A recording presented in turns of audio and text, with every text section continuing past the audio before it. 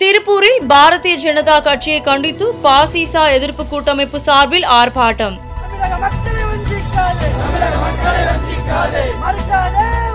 NEET தேர்வை ரத்து செய்யப்படாததை கண்டித்தும் காவிரி நதிநீர் உரிமையில் தமிழகத்துக்கு தொடர்ந்து துரோகம் இழைக்கப்பட்டு வருவதை கண்டித்தும் தமிழக ஊடகங்களை மிரட்டும் அராஜக போக்கை கைவிடக் கோரியும் ஸ்டெர்லைட் போன்ற திட்டங்களுக்கு ஆதரவு அளித்து வருவதோடு தமிழக வளங்களை கார்ப்பரேட்டுகளுக்கு தாரை வார்க்க துணை போகும் பாரதிய ஜனதா கட்சியை கண்டித்து பாசிசா எதிர்ப்பு கூட்டமைப்பு சார்பாக திருப்பூர் மாநகராட்சி முன்பு நடைபெற்ற ஆர்ப்பாட்டத்தில் எஸ்டிபிஐ கட்சி பாப்புலர் ஃப்ரண்ட் ஆஃப் இந்தியா திராவிட இயக்கங்கள் உட்பட ஏராளமானோர் கலந்து கொண்டனர்.